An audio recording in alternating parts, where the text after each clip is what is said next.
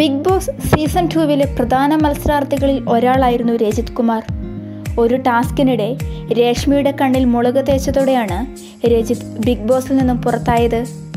Corona കാലത്തും ആരോഗ്യവകുപ്പിന്റെ നിർദ്ദേശങ്ങളെല്ലാം കാറ്റിൽ പറത്തി അദ്ദേഹത്തിന്റെ ആരാധകർ കൊച്ചി എയർപോർട്ടിൽ വരവേൽക്കാൻ എത്തിയിരുന്നു ഈ സംഭവത്തിൽ ആളെ കൂട്ടിയതിന് ഷിയാസ് കരീം രജിത് കുമാർ പരീക്കുട്ടി എന്നിവർക്കെതിരെ പോലീസ് കേസെടുക്കുകയും ചെയ്തിരുന്നു.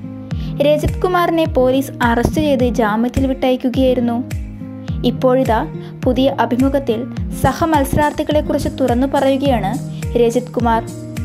വീടിനുള്ളിൽ ജനുവിനായി ആരും തന്നെയില്ലെന്ന് രജിത് പറയുന്നു. ഇരുന്നൂറ് ശതമാനം ജനുവിനായാണ് താൻ ആ മത്സരത്തിൽ പങ്കെടുത്തത്. അവിടെ മത്സരിക്കുന്ന എല്ലാവർക്കും ലക്ഷ്യമുണ്ട്.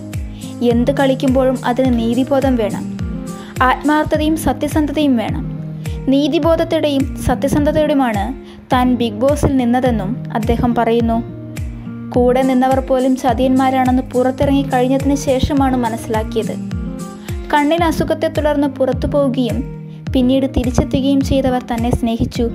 കൂടുതൽ കരുതലും അടുപ്പവും കാണിച്ചു. എനിക്കതൊന്നും അപ്പോൾ മനസ്സിലായിരുന്നില്ല. പുറത്തെത്തിയപ്പോഴാണ് എല്ലാം മനസ്സിലായതെന്നും രജിത് പറയുന്നു.